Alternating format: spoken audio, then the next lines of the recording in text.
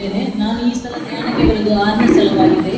ಕಳೆದ ಧ್ಯಾನ ಧ್ಯಾನ, ಕುಟುಂಬೋತ್ಸವ ಧ್ಯಾನಕ್ಕೆ ಬಂದಿದ್ದೆ. ಧ್ಯಾನ ನಡೆಯುತ್ತಿರುವಾಗ ನನಗೆ ಗುರುವಾರ ದಿವಸ ಬೆಳಿಗ್ಗೆ ಹತ್ತು ಗಂಟೆಗೆ ಒಂದು ಕಾಲ್ ಬಂತು ಮನೆಯಿಂದ. ನಿಮ್ಮ ಗಂಡನಿಗೆ ಹುಷಾರಿಲ್ಲ ಹಾರ್ಟ್ ಅಟ್ಯಾಕ್ ಆಗಿದೆ, ಐಸಿಯು ಇದ್ದಾರೆ ಅಂತ ಹೇಳಿದ್ರು. ನನಗೆ ತುಂಬಾ ಹಾಳು ಬಂತು. ನಾನು ತುಂಬಾ ಗುಪ್ತ ಗುಪ್ತ ಏನು ಮಾಡುದಂತ ನನಗೆ ಗೊತ್ತಾಗಲಿಲ್ಲ. ಮನೆಗೆ ಕಾಲ್ ಮಾಡ್ಲಿಕ್ಕೆ ನನಗೆ ಮೊಬೈಲಲ್ಲಿ ನಂಬರ್ ಸಿಗ್ತಾ ಇಲ್ಲ, ಅಷ್ಟು ಗಾಬರಿಗೊಂಡಿದ್ದೆ. ನಾನು ಅಳುತ್ತಿರುವಾಗ ಇಲ್ಲಿನ ಬ್ರದರ್ ಅವರು ಹೇಳಿದ್ರು ನೀವು ಪರಮ ಪ್ರಸಾದದ ಮುಂದೆ ನಿಂತು ಪ್ರಾರ್ಥನೆ ಮಾಡಿ ಅಂತ ಹೇಳಿದ್ರು.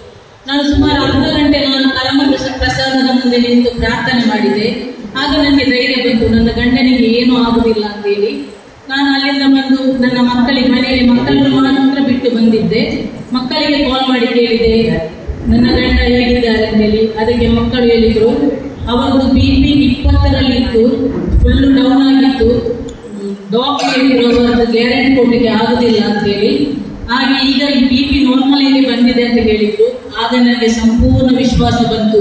ನನ್ನ ದೇವರು ನನ್ನ ಗಂಡನ ಜೊತೆಯಲ್ಲಿ ಇದ್ದಾರೆ ಅಂತೇಳಿ ನಂಬಿದೆ. ಪುನಃ ಅವರ ಅವರಿಗೆ ನಾನು ಹೇಳಿದೆ, ನಾನು ಎಂತ ಮಾಡ್ಬೇಕಂತ ಕೇಳಿದೆ ಮಕ್ಕಳಿಗೆ ನೀವು ಅಲ್ಲೇ ನಿಂತು ಧ್ಯಾನ ಮಾಡಿ, ಇಲ್ಲಿ ನಾವು ನೋಡ್ತೇವೆ ಅಂತ ಹೇಳಿದೆ.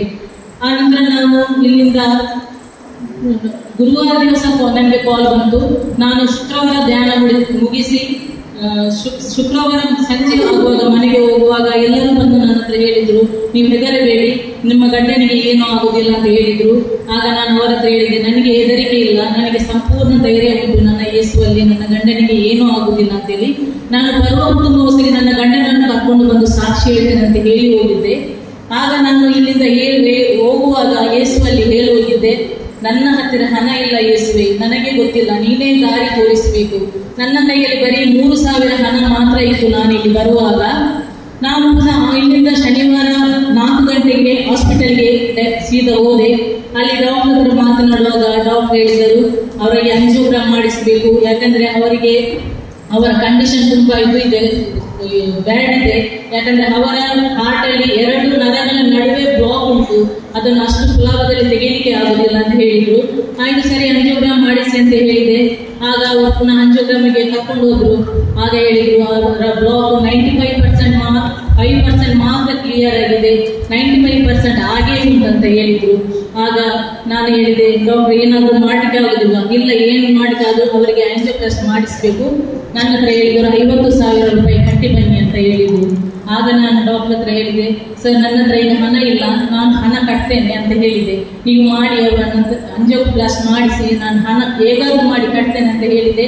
ಅವರಿಗೆ ಅಂಜಿಯೋಪ್ಲಾಸ್ಟ್ ಮಾಡಿಸಿ ಐಸಿಯಲ್ಲಿ ಕೂಡ ಇಟ್ಟರು ಅಷ್ಟಾಗುವಾಗ ಅಲ್ಲಿ ನಾನು ಐದು ಪೈಸೆ ಕೂಡ ಕಟ್ಟಿರ್ಲಿಲ್ಲ ಹಾಸ್ಪಿಟಲ್ಗೆ ಅಲ್ಲಿ ಇನ್ಚಾರ್ಜ್ ಅವರಲ್ಲಿ ಬಂದು ಕೇಳಿದ್ರು ನಿಮ್ಮನ್ನ ಸುರಕ್ಷೆ ಇದೆಯಾ? ಇ ಎಸ್ ಐ ಇದೆ ಅಂತ ಕೇಳಿದ್ರು. ನಾನು ಹೇಳಿದೆ, ನನ್ನ ಹತ್ರ ಏನಿಲ್ಲ.